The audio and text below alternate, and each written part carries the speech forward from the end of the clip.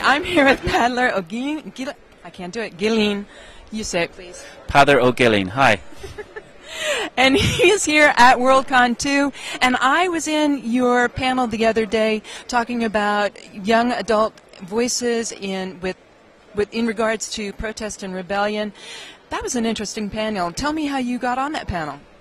Um, I got on the panel by writing YA books, basically, um, and people have this idea that um, YA books are all about the rebellion, and a lot of them are about the rebellion. Um, mine generally aren't. Um, you know, um, but I am interested in it. I used to be a judge for uh, Children's Books Ireland, which was a, a, major award in Ireland for children's books. So um, I read an awful lot of them, and I, I, I, think I was qualified enough to, to speak to the subject. I do too. And you have a book coming out in about two weeks. I do. Can I show it? Yes, you may. This is it. This is the call. You say two weeks. I say ten days and eleven hours. so um, we're we're pretty close to that coming out. I'm hugely excited about it. It delves very deep into Irish legend.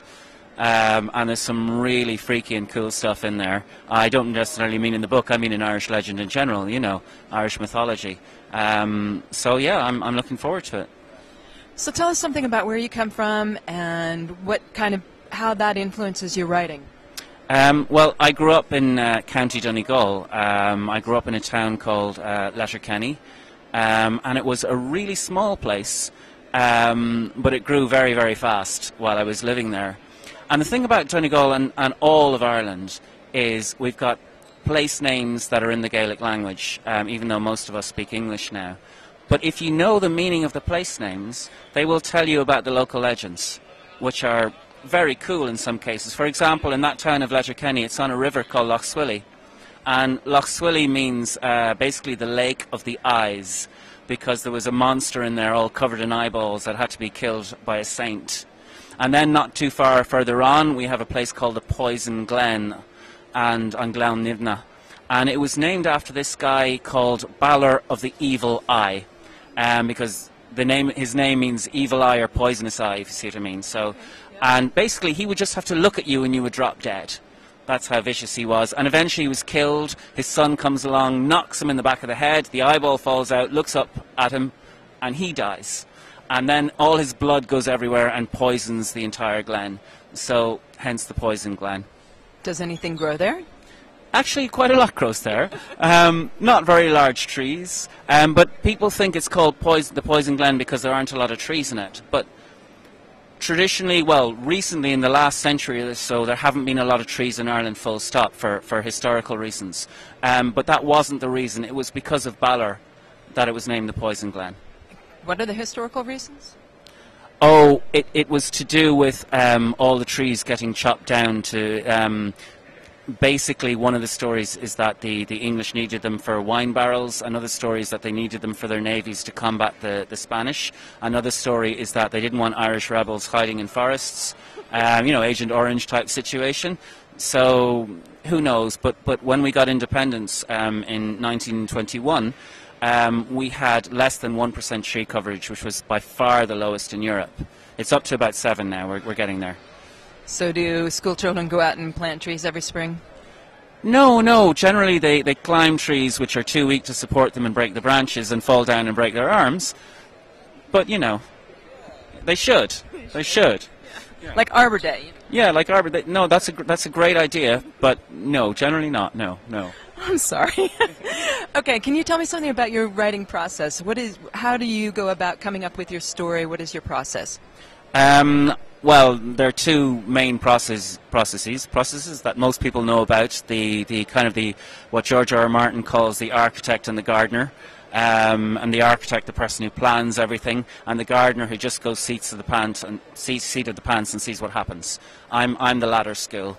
Um, my favourite thing is to get a character into an impossible situation. Then I try and make that situation far far worse uh, I have no clue how that character is going to get out of the situation, which is great. But I can spend two weeks thinking about it. The character has seconds to save their lives. I've got weeks to think of something that isn't le- isn't stupid. Um, and if I don't know how they're going to get out of it, the reader definitely isn't going to know. So. So you're kind of a sadist. You take these poor innocent characters and put them in awful situations. They generally are innocent until I finish with them, at which stage they're fairly vengeful. But yes, yes, that's what happens. Do you typically are all you have? I think you told me you have four books out. Are they all YA books? Yeah, well, the previous books, the older books, are now out of print. Um, they were the very first book. It was a series of three books. The very first book was The Inferior, um, which was written from the point of view of a cannibal um, living in a tribe of cannibals. And the, the point of the book really was to get you to sympathize with them, even though their enemies were the civilized people, um, who were vegetarians, as it happened, as I am. But, you know, but that was the point of it. It was kind of a, almost a challenge for me. Um, and it, it, it did seem to work. It did seem to, to do that. To challenge you? Well, it, challenge the idea? well, it, it, it, it challenged the idea, I hope. I mean, in, in every single, um, you know, famine in human history, um, people have recorded cases of cannibalism. It, it comes up again and again. I, I had uh, designed a world where if you didn't eat the flesh of intelligent creatures, either human or alien, you would not survive. So the only people who survived were people who were either who were descended from cannibals themselves. Otherwise, they would not have survived. And they were actually put in that situation by the vegetarian society, who then looked down on them. And I think it's something that happens again and again in human history. I'm not referring to the cannibalism, but I'm referring to one society puts another group of people in a situation, forces them to be a particular way, and then scorns them for the way they now are. You're right. That does happen over and over again. and what are your second and third book about? Um, well, it was a series, so there were three three books. Yeah, yeah, yeah. So this that was the first one. What's the second one in the series? The Deserter, and the third one is The Volunteer. Okay, so they all um, explored the different themes about the same society. Well, it, it was the same character and following the story of the same character. You, you were asking me about my process. Um, so for this new series, I'll hold the book up again. Hey, the call. Um, for for the, there, there are only going to be two books.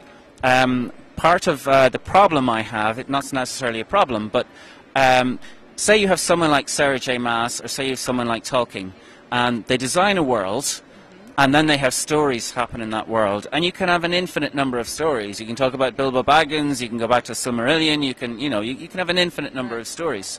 Um, generally, I kind of have that science fiction disease where you create a world that is itself the problem to be solved or the puzzle to be solved, whatever way you want to look at it. And once that puzzle is solved, there's no way you're going to be going back there and, and setting more stories there, unfortunately. I can see your problem there. So you have to keep doing more world creating and create another world. Okay, so do you have plans for the next world that you'll be creating?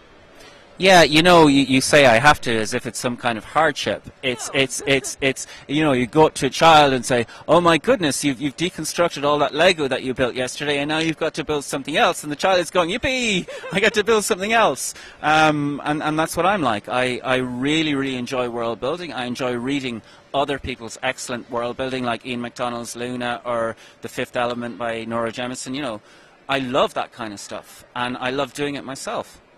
How do you how do you come up with a world and make sure that you're not recreating somebody else's world? I don't generally care if I am. Um, I don't care if I am. I don't think I am, but I don't really care if I am. In, in the sense that um, the most original thing any writer is going to bring to a work is themselves. Um, there's, there's one thing I, I did once in a panel where I asked people, you know, which is, uh, which is more original? Um, a story set, um, a fantasy story set in a world similar to medieval Korea, um, or a story where someone lands on a planet and finds that it's, it's run by apes. And um, almost everyone will say, oh, the one set in medieval Korea would be, or a fantasy medieval Korea, you know, would be, would be more interesting because it's usually medieval Europe and, and that's so much more interesting. And it's totally not true because when you say the, the ape thing, they're thinking, but that's Planet of the Apes. Yes, and how many others have been done like that? Almost none. It's just that it stands out. Um, whereas the medieval Korea thing is a slight. It, it's what I call an off the an off the shelf world. Someone else has, has, has made medieval Korea. In fact, the Koreans made it, you know, several hundred years ago or whatever. Someone else made medieval Europe. All you're doing is, okay, you're saying I'm being more original because very few people do medieval Korea. It's true. It's true. But in terms of your creativity, that was a good original suggestion you had, but in terms of your creativity, you're taking something that someone else has built or someone else has lived off the shelf and you are now using it. You are not creating from scratch a whole new world, which to me is, is a more original act. Uh, which is not me condemning people who do off the shelf worlds. I'm just saying if you're talking about purely about originality, right. that isn't the most original thing. The most original thing is yourself. You're so right, because we're all so individual, and, and that's what we bring to the world as being unique. How many of these? Um, I'm totally changing tune now. Good. How many? How many of these World Cons have you been to? I think I've been to four or five. I'm not sure. I was at Montreal, I was at Reno, I was at ChiCon, I was at uh, LonCon, and I was at this one. That's five. That's five.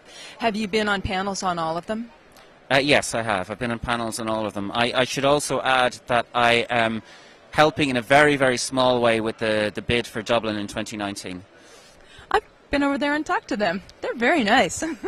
well, they are very nice. They're, they're, they're lovely. We, we, we are very nice. We are lovely. Yes, thank you. You're welcome. what else would you like to talk about or promote? Does you have any other projects, side project, maybe not even a writing project that you'd like to talk about? Maybe a website that you have? Not really, I have to say. I have a very sad life. I, I, I, sit at home and I write, um, and and then I, I go to work on the other days, and my, my socialising is at cons. That's what I do. I mean, I've already said the Dublin 2019 thing. Um, I take part in lots of other cons and, and conventions.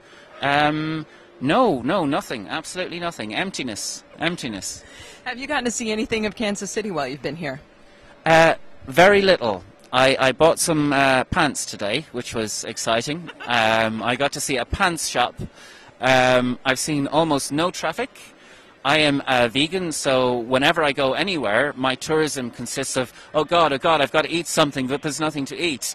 And this is real barbecue country, you know. Um, but I was, I was, uh, there's a, an, a, gorgeous little vegan restaurant near here called Food with F and an umlaut over the U and a D.